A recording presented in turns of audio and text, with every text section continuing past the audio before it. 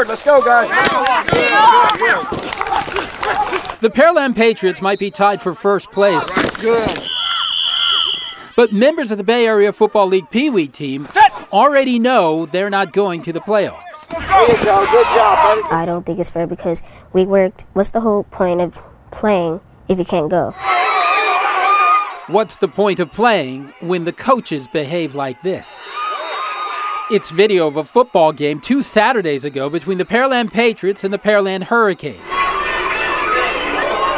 You're able to see the Patriots scoring a touchdown, but out of range of this camera, the two players seen colliding here began to scuffle, and a Patriots coach tried to separate them.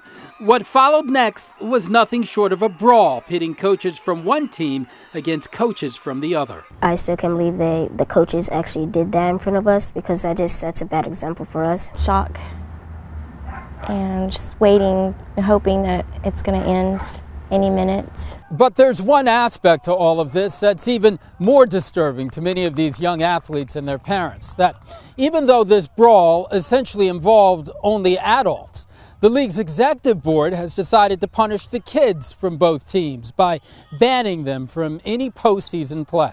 I do feel it's unfair. I really do. And it's and it's unfair to the kids.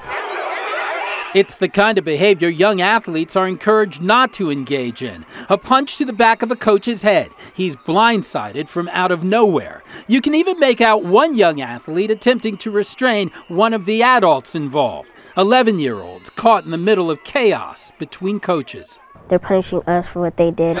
And yet, those kids are the ones bearing the brunt of the brawl. Rucks Russell, 11 News.